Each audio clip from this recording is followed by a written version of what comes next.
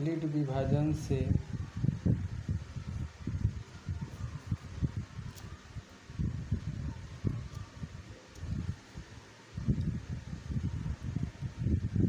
Euclid विभाजन से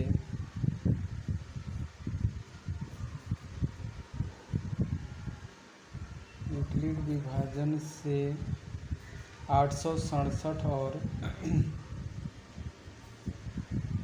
दो सौ पचपन का एच सी एफ़ निकालें। तो दोस्तों जो है, ये जो है, यूक्लिड विभाजन के द्वारा हम केवल इससे एच सी एफ़ ही निकाल सकते हैं। इससे जो एल सी एम नहीं निकाला जा सकता है।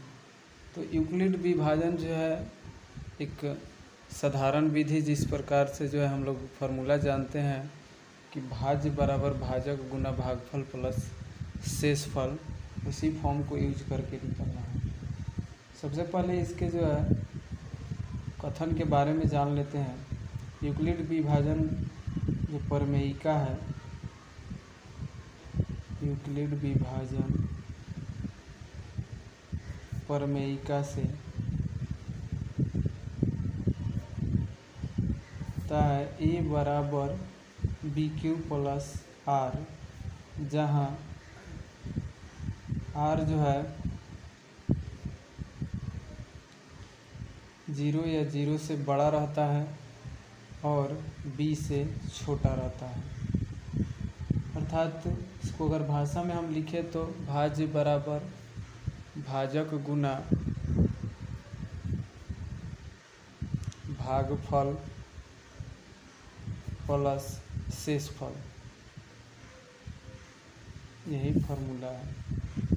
चलिए अब चलते हैं हम क्वेश्चन को सॉल्व करते हैं। सबसे पहले मैं इसको जो है, इस कथन को यहाँ से घेर देता हूँ। अब जो है क्वेश्चन का सॉल्यूशन लिखते हैं। सबसे पहले जो बड़ा होगा, देख लेते हैं, आठ सौ सड़सठ, बड़ा है दो सौ पचपन से। इसीलिए बड़ा वाले को जो है, ये मानते हैं आठ सौ सड़सठ और छोटा वाले को दो सौ पचपन मान लेंगे। लिखेंगे यूक्लिड विभाजन से। फ्रेंड्स, यहाँ पे यूक्लिड विभाजन का हम यहाँ पे जो शर्त है, लिख देंगे ए बराबर बी क्यू प्लस आर। अब आइए यहाँ से रखते हैं, ए का मान जो है आठ सौ सड़सठ है और बी का मान दो सौ पचपन। और क्यू का मान कहाँ से आएगा? तो यहाँ से दो सौ पचपन से भागा देंगे आठ सौ सड़सठ में। बगल में ही रफ करेंगे, ताकि एग्जामिनर को जो है देखने में सुविधा हो। दो सौ पचपन से भाग देंगे, तीन मरतबे भाग देंगे, पाँच तिया पंद्रह, पाँच तिया पंद्रह, एक सोलह, दो तिया छब्बीस, सात। सात से पाँच गया दो, छः छः, ज़ीरो, आठ से सात गया एक। यानी तीन मरतबे कटेगा तो इंटू तीन लिखेंगे प्लस एक सौ दो शेष फल आया। फ्रेंड्स अब यहाँ पे दो सौ पचपन जो है, बड़ा है, एक सौ दो छोटा है तो दो सौ पचपन को इधर लाएँगे एकदम साधारण मस, भाग विधि से जो मसा निकालते हैं सेम उसी तरह से।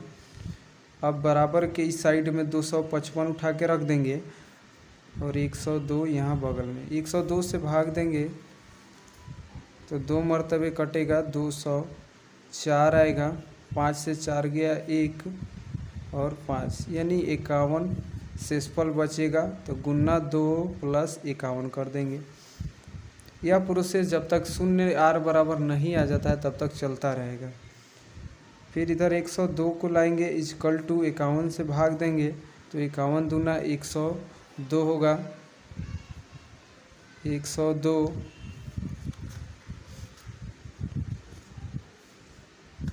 और ये पूरा पूरा कट जाएगा, यानी शेषफल जो है ज़ीरो। अर्थात यहाँ पे लिखेंगे आर बराबर ज़ीरो। अब प्रोसेस को स्टॉप कर देंगे यहीं पे। इसलिए एच सी एफ़ ऑफ़ आठ सौ सड़सठ दो सौ पचपन टू लास्ट अंतिम भाजक जो होगा, वही हो जाएगा इक्यावन। अर्थात इसका एच सी एफ़ इक्यावन आंसर हुआ। फ्रेंड्स मैथ नाइन्थ और टेंथ का जो है पूरा पूरा वीडियो मैथ का बनाऊँगा। आप हमारी वीडियो को देखें।